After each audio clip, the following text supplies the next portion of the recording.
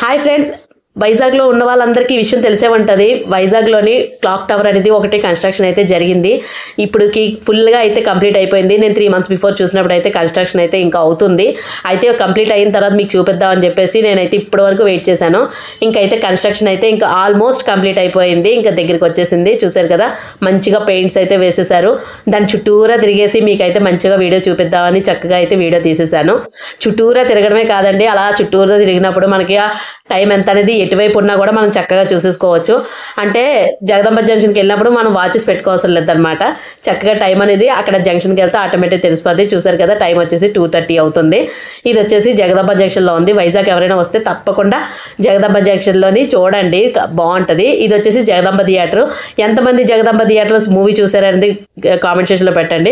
నేనైతే చిన్నప్పుడు అనకాపల్లి నుంచి వైజాగ్ వచ్చినప్పుడు చంద్రముఖి సినిమా అండి. చంద్రముఖి సినిమా అయితే చూశాను.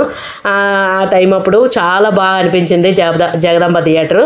మీరు కూడా ఎవరు ఏ సినిమా చూసారు జగదంబ థియేటర్లో అనేది కామెంట్ సెక్షన్లో పెట్టండి. చూసారు కదా ఇలాగ సెల్ఫీ వీడియో అయితే తీసుకున్నాను. బాగుంటుందండి కరెక్ట్గా జంక్షన్ పాయింట్లో అయితే మంచిగా అయితే క్లాక్ టవర్ అయితే కన్స్ట్రక్షన్ జరిగింది. చాలా బాగుంది చూసారు కదా వెనకాతల ఫుల్గా కన్స్ట్రక్షన్ అయిపోయింది. మీరు తప్పకుండా